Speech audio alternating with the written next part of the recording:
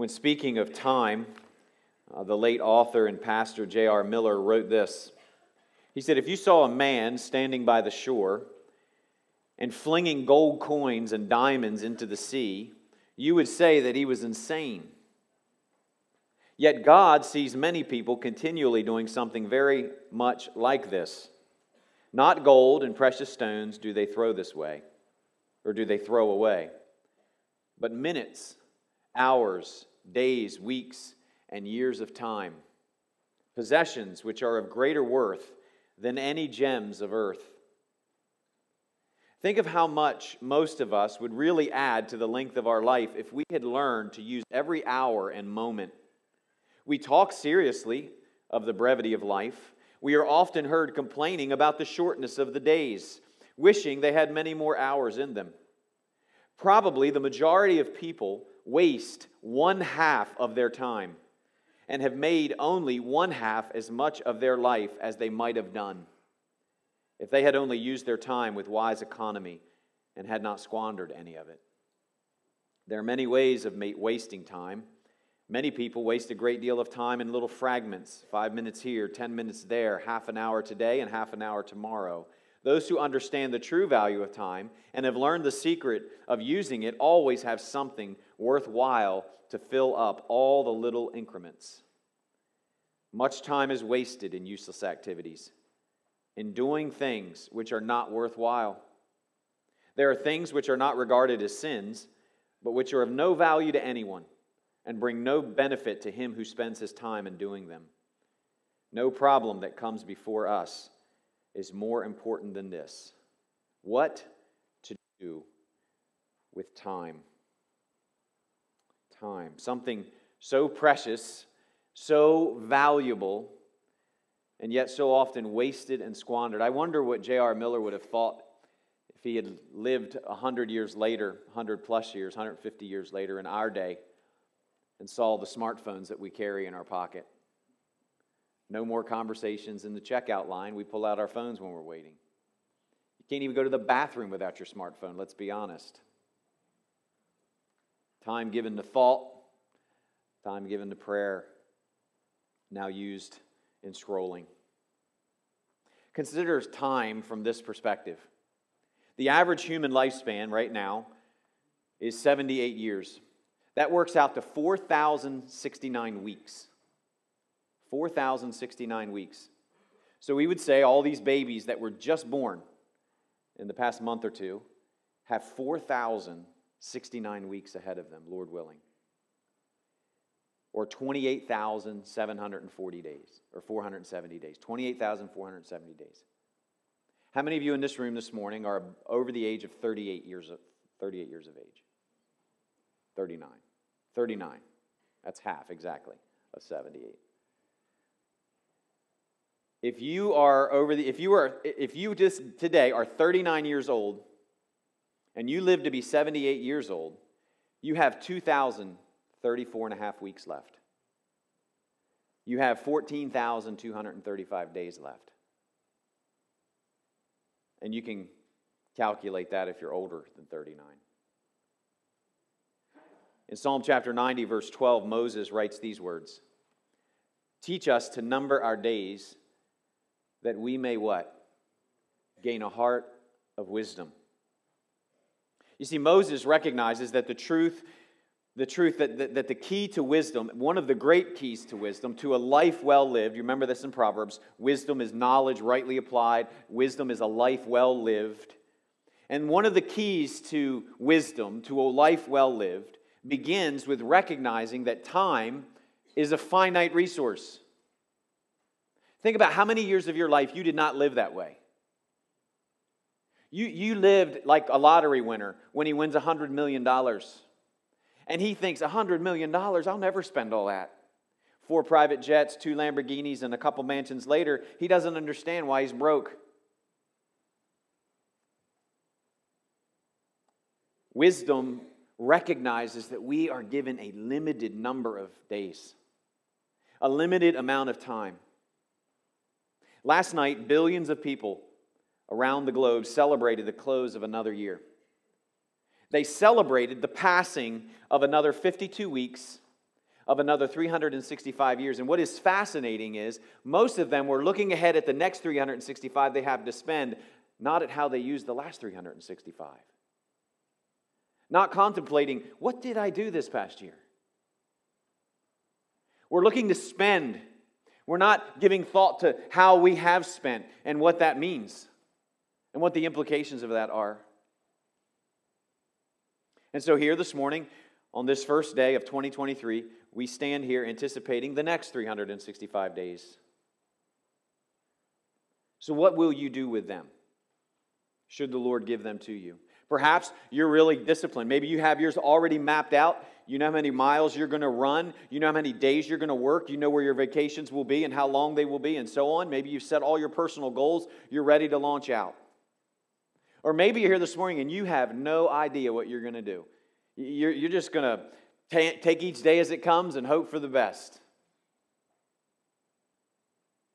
Whatever you find yourself, wherever you find yourself this New Year's Day, I want to challenge you to consider this important truth. Every minute of every day of every month of 2023 that you live and experience is a stewardship that has been entrusted to you by God, a solemn stewardship that has been entrusted to you by God. What do I mean by stewardship? Well, Webster's dictionary defines stewardship this way the conducting, supervising, or managing of someone, of, of something, especially the careful and responsible management of something entrusted to one's care. It's the, uh, one dictionary said it's, it's the managing of another's affairs that have been entrusted to you. In my experience, the, the one thing that modern people, especially Americans, tend to be most stingy with is their time.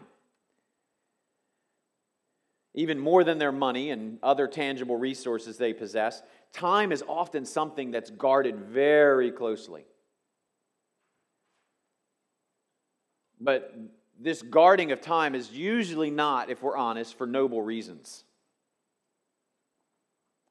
Despite the many needs all around us, whether in our own homes, whether in our community, whether in the world at large. We have become experts at justifying sitting like zombies in front of TVs, streaming the latest series or movies, spending hours and hours scrolling through our phones, or engaged in some other self focused task. I'd encourage you, if you have an iPhone, I don't know if Droid, Android users do this or not, but uh, the beginning of this year, set up your your phone to map your, your screen time and have it notify you. Preferably Sunday morning, because then that way you can come to church and repent after you see the number. But the amount of time that you spend on your screen. I remember one time I was sitting in church, my screen buzzed before the service, before I get up to preach, and Livia, my daughter, was sitting there, saw my screen time flash on my screen. It was like, well, you, you used more screen time than I did this week. And I felt terribly guilty, and I had to get up here and preach to you. But, but I'm, I'm serious, use that. And, and it's fascinating to see the amount of screen time that we use. And it'll show you what you use it on. It'll show you, you spent this much time on this app. You spent this much time on that app. It'll show you all the breakdown. It's a great way of, I would say it's a great tool for numbering your days. How are you using those days? But you know, Scripture does not provide us a justification for vegging out. Scripture does not provide us with this sense of it's my time. I need my time. That, that's not something the Bible gives us. God's word tells us that everything that we have, everything that is in our possession, especially our time, has been given to us by God. You remember when Paul wrote to the Corinthian church in 1 Corinthians chapter 4, he asked this question of the church. He says, What do you have that you did not receive? And the question demands a negative answer. The answer is nothing. Everything that you have, you have been given by God. No one is self made. That is, that is, that is a, an illusion. No one is self made. God sovereignly chose that you could live in this country, which is a land of opportunity, it's often called. But, but okay, He put you here. Now you can say, well, yeah, He put me here and I worked for everything I had. Okay, who gave you the ability to work? Who gave you the health to work? Who, who gave you the mental capacity to understand the task that you do? Who gave you the, the, the beating of the heart that, that, that is taking place in your chest the air in your lungs? Who gave that to you? You didn't come up with that. It wasn't, it wasn't something that you earned. It's something that God has given, something He has entrusted. Everything that we have comes from God. All 365 days of 2022 were entrusted to you by God. Every single one of them. So here's the question How did you use them? You're going, to get, you're going to have to give an account for every single one of them. All 365 days. How did you use them? What did you produce this past year that you could point to and say that is of eternal value? What could you point to? If I asked each one of you to come up here and stand and say, okay, uh, off the top of my head, these are the things that, that I would say that, that I did that what I would say were of eternal value. It would be interesting to listen. Because everything else you did, it's going, it, it's, it's going in the ground with you. It will not last. All the stuff you've accumulated, someone else, get this, someone else is going to live in your house one day. And there's a good chance with all the thrift stores around, they're going to be wearing your clothes, sleeping on your mattress, all of that.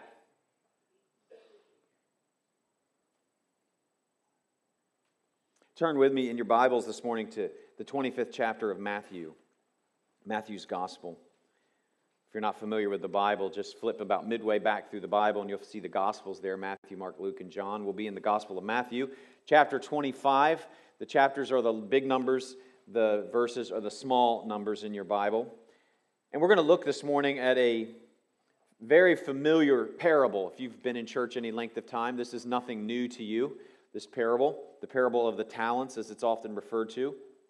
This parable, a parable uh, is simply a story. It's something that Jesus often used. He would tell these stories, these parabolic stories, that, that were meant to convey an underlying message. They were kind of metaphors or uh, uh, we often say they were, they were stories about familiar things that people could understand that would that carried with them an underlying spiritual message or spiritual lesson and that's what a parable is. And so jesus often tells these and he's telling a parable here he's telling a series of them in what is often referred to as the olivet discourse meaning uh, olivet discourse is simply uh, a fancy way of saying the teaching that jesus did on the mount of olives he, he, he did some teaching there on the Mount of Olives to his disciples, and this teaching was primarily focused on the end of time, on the, the fin- final events of the end of time, the final judgment, uh, the Lord's return, all of that we find in Matthew 24 and 25. And he tells these parables, and, and in these parables, you'll notice as you read through 24 and 25, there's, there's this very uh, strong theme, as it were, of expectation there, there's a call that we see over and over again uh, uh, to be ready for the return of the Lord. And we see that here in this particular parable, the parable of the talents. So I want you to follow along with me. We're going to read beginning in verse 14 this morning. And as we prepare to read, I want you to, to, to know that when we come to that word talent in here, we often take that word talent and we assume it means our talents, like the things that we can do. Like you have a talent for this or you have a talent for that. That word came into the English language from this parable. But the word talent, as it was in the Greek text here in the gospel, did not refer to talent in that way. A talent was, a, was, a, was an amount of money, it was, it was a unit of currency. In fact, it was a significant unit of currency. One talent was said to equal somewhere between one to 200 pounds of gold. And so, one talent, it was said, was about 20 years' wages for the average day laborer of that time. So we're not talking little bits of money, we're talking substantial wealth. Right? So when you hear the word talent in this parable, that's what he's speaking of. That's what the original audience would have heard. Now, that was extrapolated from this parable, that word talent, to refer to the, all the resources that we possess. So, in, in a sense, it, it's, it is right to think of it in this way. It is right to think of it in, as has often been said, our time, our talents, and our treasures. Uh, all of that would flow uh, easily out of this passage. But follow along with me as we begin in verse 14. This is the word of the Lord. For it will be like a man going on a journey who called his servants and entrusted to them his property. To one he gave five talents, to another two, to another one, to each according to his ability. Then he went away. He who had received the five talents went at once and traded with them, and he made five talents more. So also he who had two talents made two talents more. But he who had received the one talent went and dug in the ground and hid his master's money. Then, now, or now, after a long time, the master of those servants came and settled accounts with them. And he who had received five, the five talents came forward, bringing five talents more, saying, Master, you delivered to me five talents. Here, I have made five talents more. His master said to him, Well done, good and faithful servant. You have been faithful over a little. I will set you over much. Enter into the joy of your master. And he, and he also, who had the two talents, came forward, saying, Master, you delivered to me two talents. Here, I have made two talents more. His master said to him, Well done, good and faithful servant. You have been faithful over a little. I will set you over much. Enter into the joy of your master. He also, who had received the one talent, came forward, saying, Master, I knew you to be a hard man, reaping where you did not sow, and gathering where you scattered no seed. So I was afraid, and I went and hid your talent in the ground. Here, you have what is yours. But his master answered him, You wicked and slothful servant. You knew that I reap where I have not sown, and gather where I have scattered no seed. Then you ought to have invested my money with the bankers, and at my coming I should have received what was my own with interest. So take the talent from him and give it to him who has ten talents. For to everyone who has, who has will more be given, and he will have an abundance. But from the one who has not, even what he has will be taken away. And cast the worthless servant into the outer darkness. In that place there will be weeping and gnashing of teeth. This is the word of the Lord. I won't be fully expounding on this parable. This could be a lengthy sermon if we were. If you go back to the Gospel of Matthew series, I think it's probably online somewhere, and you can hear the exposition of this passage. But what I want to do this morning is just make a, a few brief observations, I think, from this, this parable that I hope will challenge you as we move into this new year. Uh, the first thing that we notice here is that it is the master who does the calling. The master calls the servants, and he entrusts them with the care of his resources. This task will shape all that they do moving forward. So, the entrusting of these resources to their care will change everything for them. It's now their calling. For the rest of, of, of, their career, as it were, until the master returns, this is to be their job, their duty. It's their calling. And you know, this is a perfect metaphor for God's call upon our lives. Sadly, many Christians, I think, see the gospel as, as, as little more than a get out of hell free card or a ticket to heaven, as it were. And while eternal salvation from God's judgment in hell is certainly central to the good news, that is not all it is. You see, the gospel not only changes our eternal destination, but it changes our heart and minds in the present. It changes us. It not only changes the sinner's relationship to God, but it changes our relationship to everything else.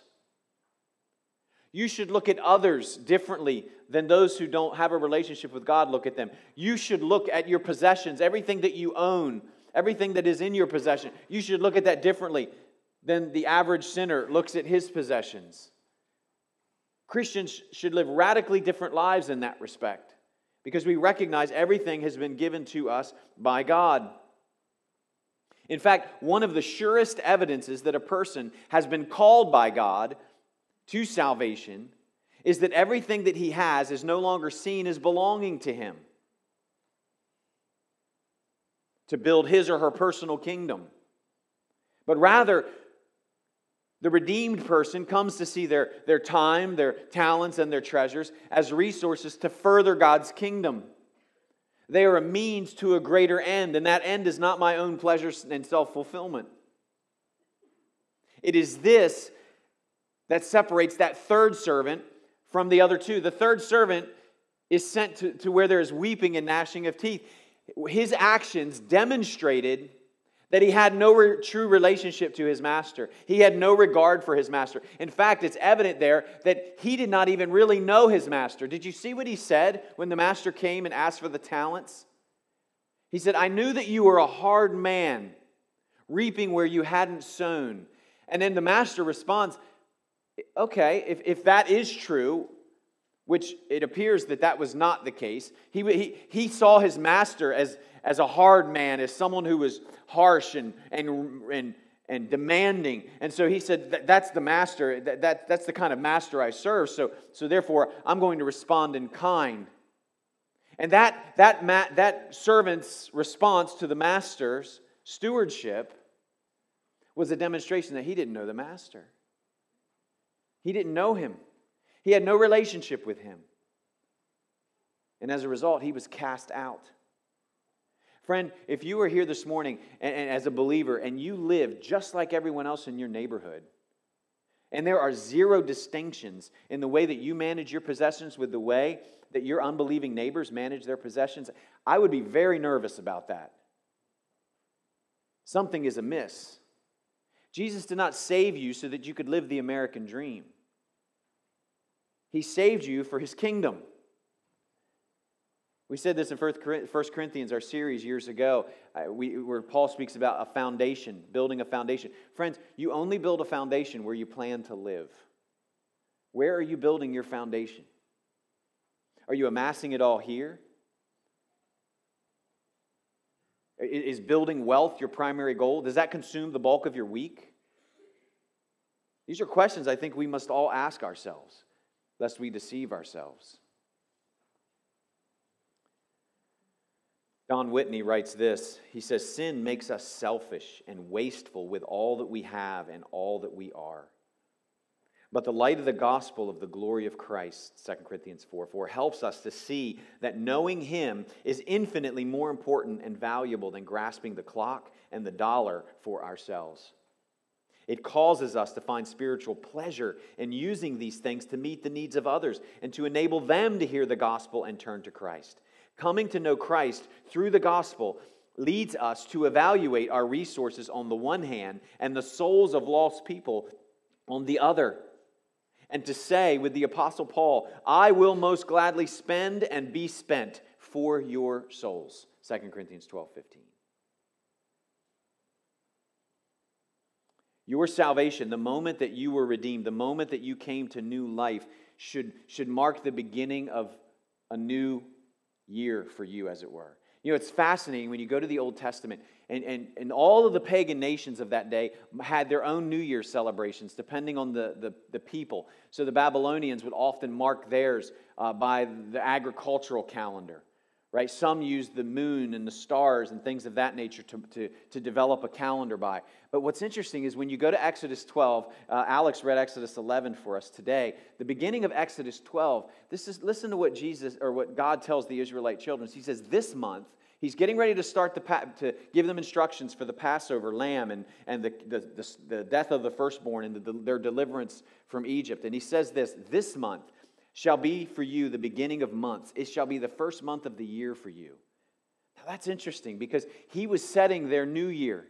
He was telling them when their new year would start. And their new year was not going to follow moon and stars and seasons. Their new year was not going to follow the agricultural calendar. Their new year was going to be tied directly to the character of God and his salvation and deliverance of them. That would be the beginning of their new year. That is how they would mark their time. Their New Year's celebration, when they would, they would examine the year before and look to the year ahead, would all hinge upon the deliverance that God had performed for them and, and bringing them out of bondage in Egypt. That is how their New Year was marked. And though our New Year, of course, is tied to the Gregorian calendar, you can study that on your own. The question is this Do you see this New Year? As tied directly to the saving call of God upon your life, to his lordship over all things, including you and your time. You see, that's the ultimate question. Not just who owns my stuff, but who owns me. There are a lot of people out there who will say, you know, I see it all the time. Oh, I thank God. In fact, I was watching something on TV last night in the, the New Year's celebration thing, and this guy, this singer, comes up on stage, and he's from Puerto Rico, and and he was. They asked him something, and he's like, he makes this statement about God, and everything I have is from God, and blah blah blah, and then he proceeds to sing this like profane song, and I'm like, there's a disconnect. God owns all my stuff in that He gives me all this good stuff. But when it comes to me, I own me. God says, No. I, I bought you. I purchased you with the blood of my son. I, I own you. I, I created you and I bought you back from sin. I own you. You are not your own. As Paul said, you were bought with a price. And therefore, we are stewards. As Paul says in 1 Corinthians 4, it, it is required that a steward, of all the things that a steward must be, he must be found faithful. He must be found faithful. And, and, and the second observation we see here is that, that faithfulness as stewards requires discipline and intentionality. Discipline and intentionality. Because there's always something that is vying for our time and our resources. Always. I mean, we can have the best of intentions when it comes to the use of our time, talent, treasures for the gospel, but that will always be overwhelmed by our circumstances, by our feelings at the moment, by the things that we think we have to do if we are not intentional and disciplined. It was fascinating last night, and I, I, I just watched this stuff just because it it gets my mind working to watch how the culture functions. Last night, if you did watch television on the New Year's Eve programs, did you see Planet Fitness? They're always the sponsor, which is ironic. Planet Fitness. And I thought it was so fascinating. Planet Fitness is offering a deal. I think it's like $1 to join $10 a month. And you, you can do that up until January 12th. Okay, I'm not making an advertisement plug here, I'm just repeating what I heard. But here's the, here's the great thing they're already anticipating what you're going to do. Cancel at any time. They said that like 20 times in the commercial. We know you're going to cancel. We want to make it safe for you, but give us the $10 plus the dollar fee. Enough of you do that, we'll, we'll have a great year ourselves. Cancel at any time. Why? Because we know what's going to happen. Right? I know it well. Right? I joined Planet Fitness. I have all the best intentions to exercise, to do all that stuff, and then I'm driving by Chick fil A. Right? And, and, and my car has like this pull to the Chick fil A. And so I go in there, I eat my sandwich, and then I go home and cancel my Planet Fitness membership. There are always things that are vying for our time. Always something that is competing for your time, attention, for your resources. And a lack of intentionality, a lack of discipline will lead to inconsistency, or even worse, it will lead to neglect when it comes to using our resources effectively for the kingdom. You see, the discipline of stewardship in reality is central to all other spiritual disciplines because if we don't develop a God centered use of our time, for example, we won't consistently engage in the personal disciplines such as prayer, the reading of God's word, the gathering of God's people. We don't make gathering with God's people a priority, and eventually other things will win out. And, and, and friends, we're teaching our families and our children something. Every time you wake up on a Sunday morning and you decide, I'm too tired to go to church, I've had a tough week. Every time you wake up on a Sunday morning and you think, you know, let's just watch the live stream in our pajamas, you're teaching your children something. Because there are saints around the world today who are meeting at great risk to their own life, and you can't get out of bed.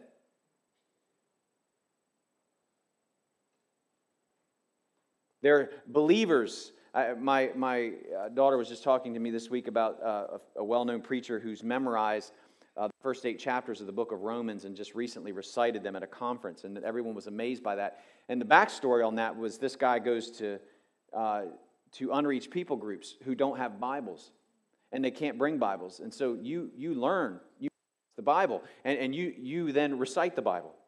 I remember him telling a story one time about going into a, a, a country, a closed country in Asia, where they had to gather uh, and they had to come in at, multi, at different times so as not to draw attention. And then once they were finally all together in this room, they sang and they sang in whispers. They couldn't sing like us.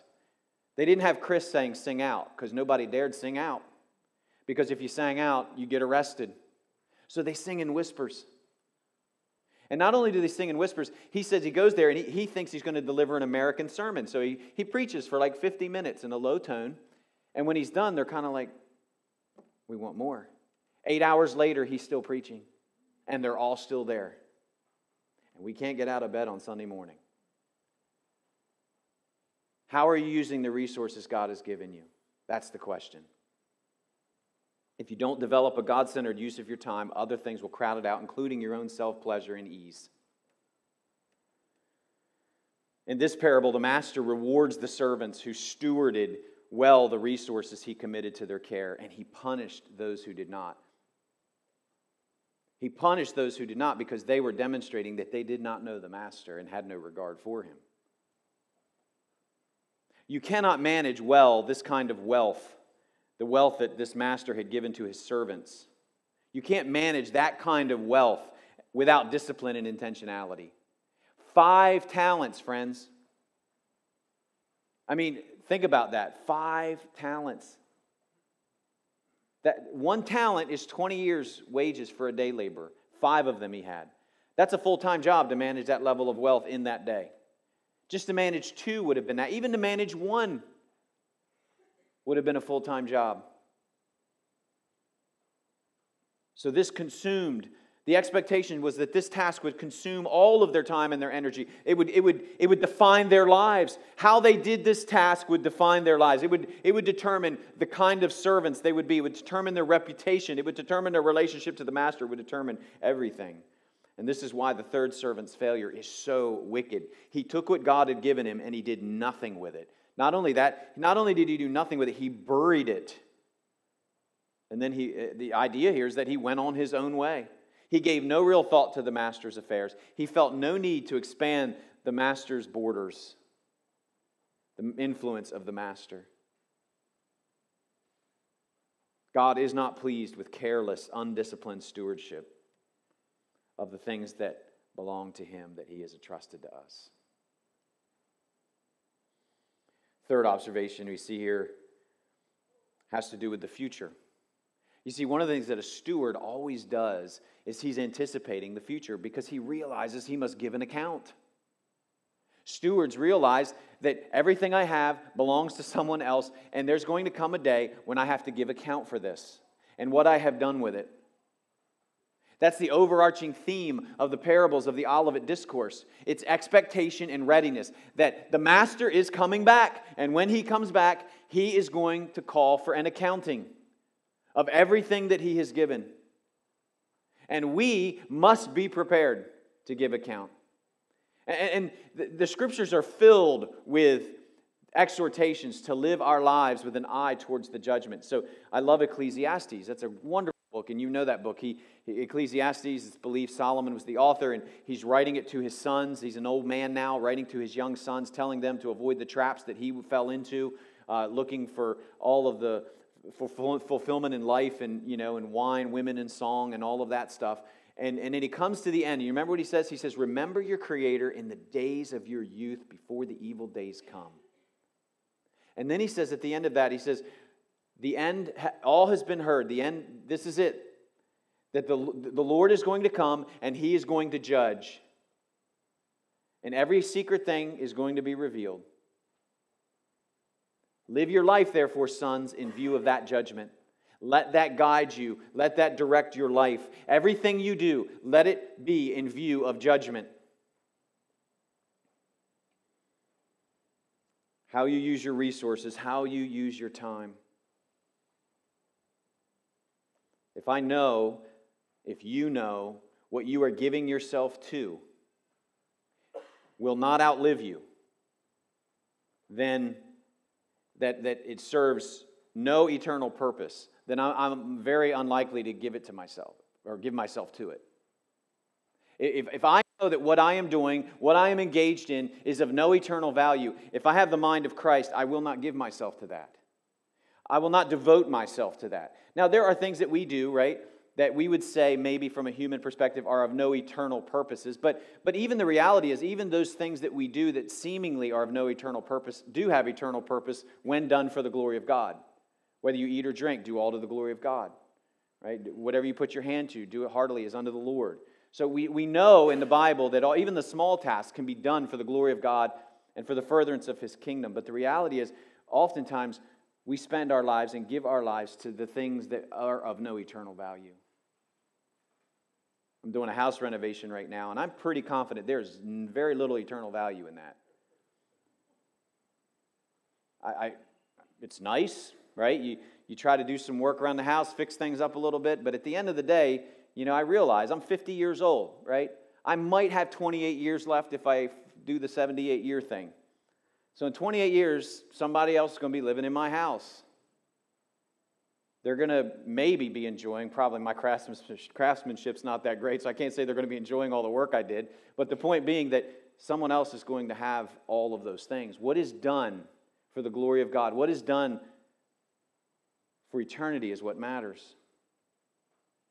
C.S. Lewis wrote this in his book, Mere Christianity. He says, A continual looking forward to the eternal world is not, as some modern people think, a form of escapism or wishful thinking, but one of the things a Christian is meant to do. You ever heard someone say, He's, a, he's a, so heavenly minded, he's no earthly good? C.S. Lewis says, No, that doesn't, that doesn't matter, that doesn't register. He says this It does not mean that we are to leave the present world as it is. He says, if you read history, you will find that the Christians who did the most for the present world were just those who thought most of the next. The apostles themselves, who set on foot the conversion of the Roman Empire, the great men who built up the Middle Ages, the English evangelicals who abolished the slave trade, all left their mark on the earth precisely because their minds were occupied with heaven.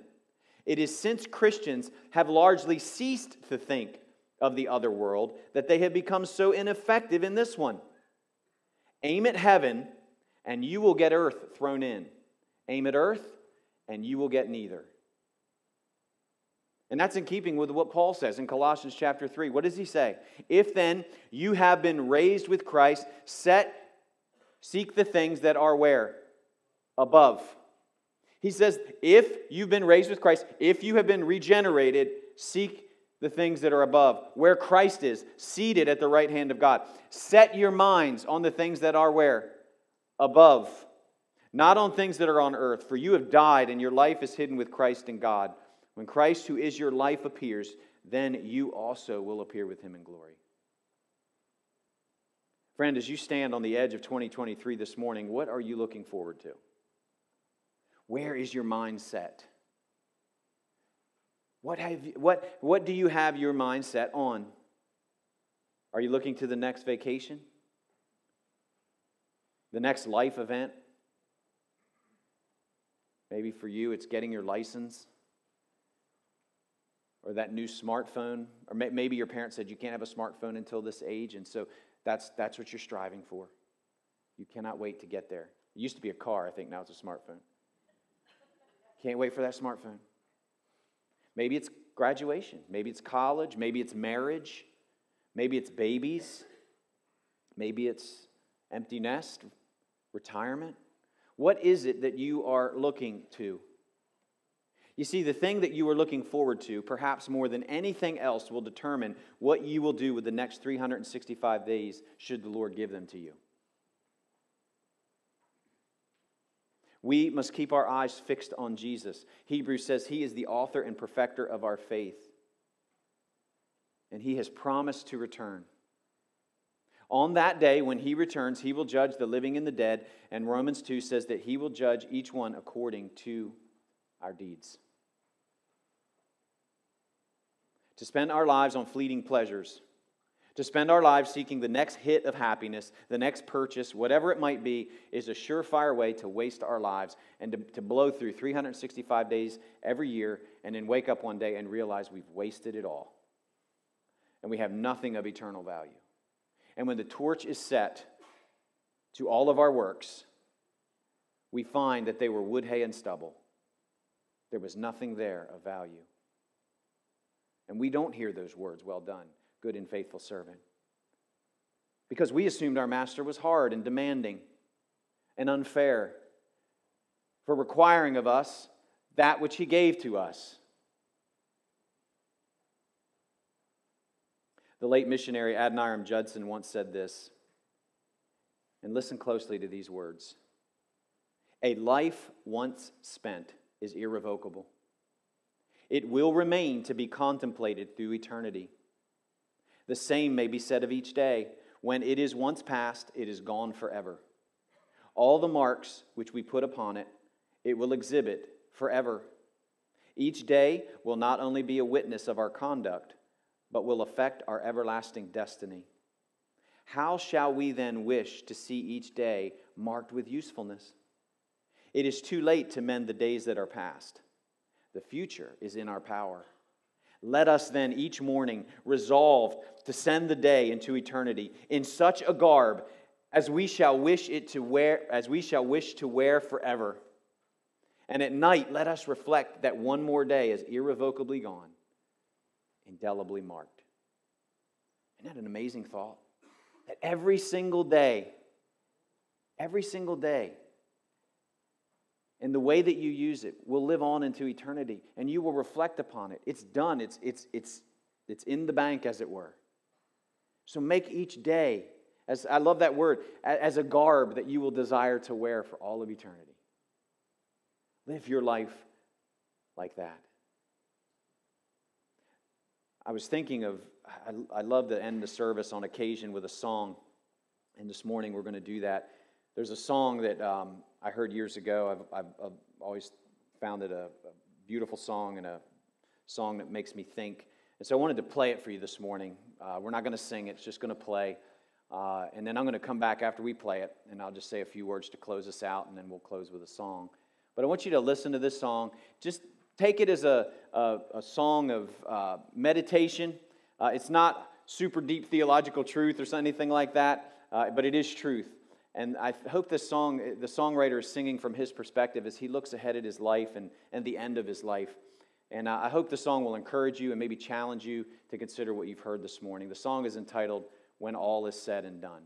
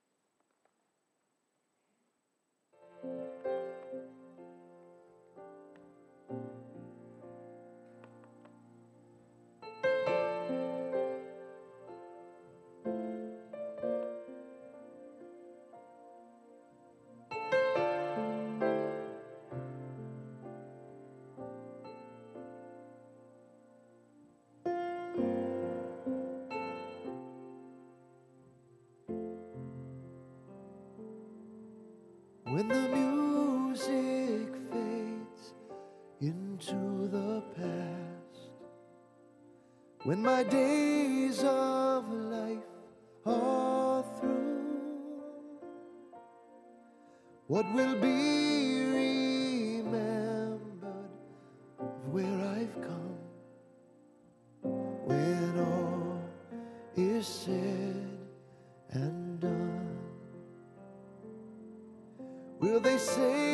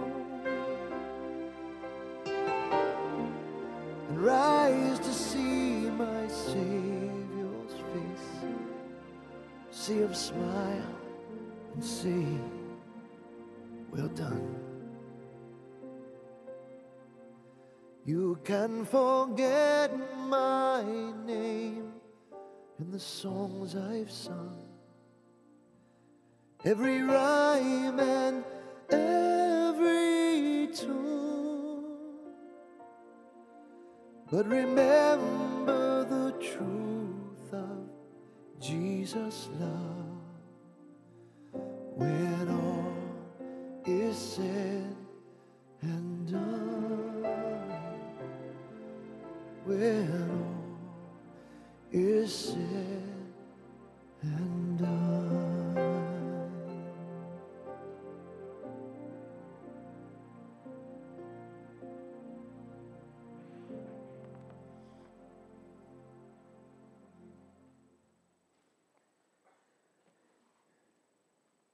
It will be 11 years until the new year falls on the Lord's Day again.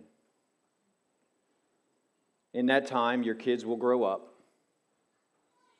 graduate, move out, some will get married,